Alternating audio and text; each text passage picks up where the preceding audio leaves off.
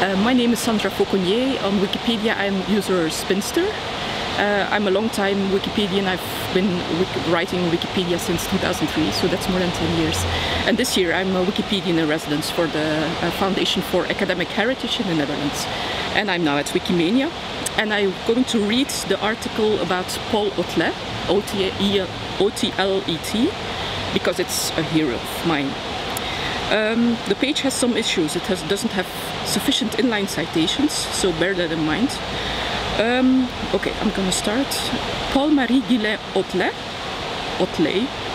uh, was born on 23rd of August 1868 and he died on the 10th December of 1944. He was a Belgian author, entrepreneur, visionary, lawyer and peace activist.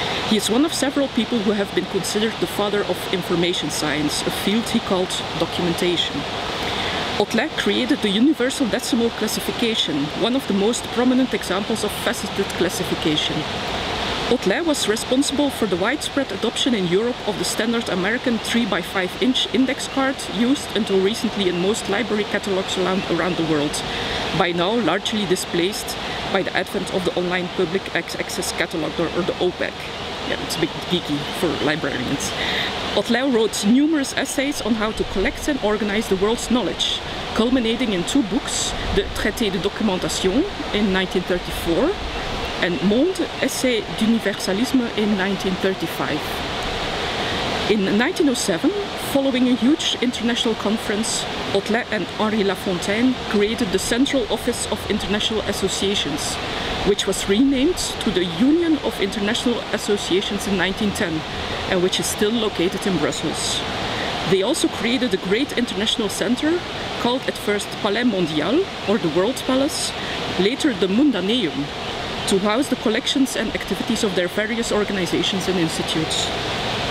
Otlet and Lafontaine were peace activists who endorsed the international politics of the League of, of Nations, uh, sorry, the internationalist, internationalist politics of the League of Nations and its International Institute of Intellectual Co Cooperation, which was the forerunner of UNESCO. Otlet and Lafontaine witnessed an unprecedented proliferation of information resulting in the creation of new kinds of international organization. They saw in this organization an emerging, emerging global polity and wished to help solidify it. Citation is needed here. Lafontaine won the Nobel Peace Prize in 1913.